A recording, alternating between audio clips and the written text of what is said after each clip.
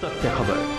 सत्य, सटीक, बेबाक। एक और तो मानसून की बारिश से उमस भरी गर्मी से लोगों को कुछ राहत मिली है, लेकिन दूसरी ओर भारी बारिश के पानी से शहर की सड़कें लबालब हो गई हैं। प्रशासन द्वारा पानी की निकासी के इंतज़ाम न होने के कारण बारिश हासी शहर लोगों के लिए परेशानियों का सबब बन गया है। मानसून की बरसात ने प्रशासन के खोखले दावों की पोल खोल दी है, जिससे लोगों को आने जाने में काफ़ी दिक्कतों का सामना करना पड़ रहा है। स्थानीय लोगों का कहना है कि हासी में जब भी बारिश होती है, सब्ज़ी मंडी, बस स्टैंड व जीन चौक रोड पर हर बार पानी भर जाता है। इसके लिए कई बार प्रशासन के अधिकारियों से भी मिल चुके हैं, लेकिन कोई भी सुनवाई नहीं होती। हर साल स्थानीय दुकानदार बारिश के दिनों नारकीय जीवन जीने को मजबूर हो जाते हैं। इस रोड पर कॉलेज, बैंक और धर्मशाला, स्कूल भी हैं, जहाँ हज़ारों की तादाद में लोगों का आना जाना है।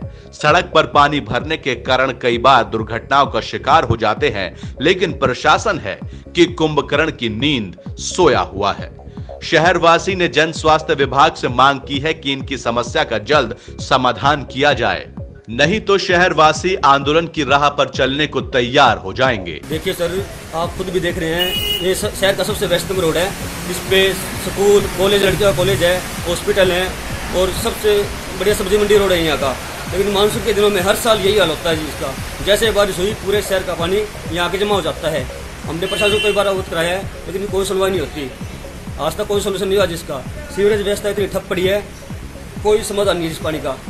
कोई निकासी नहीं इधर की। सीवरेज टूटे पड़े हैं। बारिश के दिनों में कई बार एक्सीडेंट हो चुका है यहाँ पे। मेरी समस्या, मेरे हिसाब से तीस साल से ऊपर तो मेरे को देखते हो गए। तीस साल से मेरी दुकान है यहाँ पर। पिछले तीस सालों से यही हाल है। रोड बनते हैं, बनाए जाते हैं, तोड़ते, फिर तोड़ देते हैं, फिर बना देते हैं। बट पानी का समाधान कभी नहीं हुआ। पाइप पहले दो फुट का था गोयल साहब ने बनवाया था, उसके बाद बयाना भी बने। उन्होंने एक फुट का कर दिया। उसको उनको बताया गया, लड़ाई झगड़े हुए, भाई इसको सही करवाओ। उन्होंने भी कोई ध्यान नहीं दिया।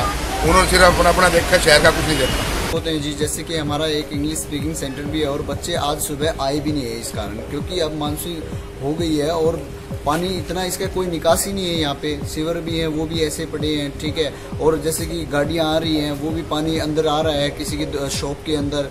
और यहाँ ऊंचाई भी नहीं है, इतनी इतना ज़्यादा गड्ढे हैं यहाँ पे। पानी की निकासी नहीं है यहाँ पे इसका हासी से केशव धमीजा की रिपोर्ट।